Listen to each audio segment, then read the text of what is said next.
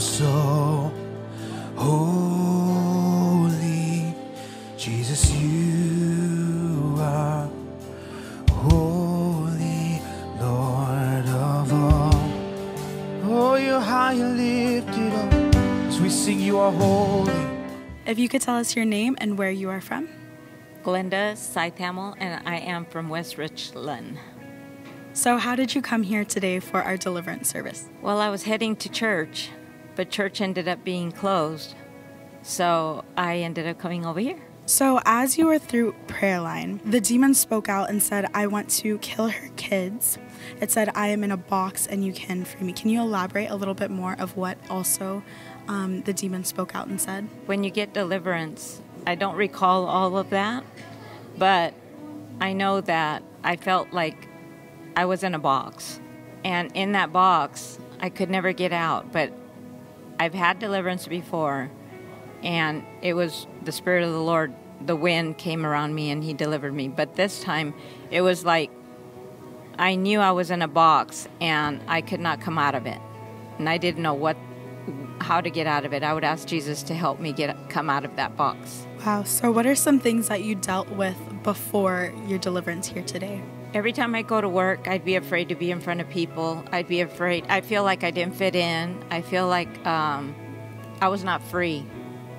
Even in family gatherings, I didn't feel free. So, we were talking a little bit before, and we were talking about um, how the demon spoke out and it said, Your grandma killed thousands of babies through abortion, correct? Um, and the spirit of death. Do you want to elaborate a little bit more, like background wise, on that? I was a, a baby, and my mother died when I was two. So, I had, I just kind of heard some of the family member, members speak about my grandmother doing stuff like that, giving home abortions. My mom died of that. She was one of them.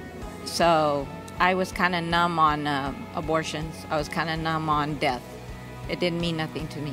What are you hopeful for going into this next season of your life now that you have your freedom and that you were delivered here today?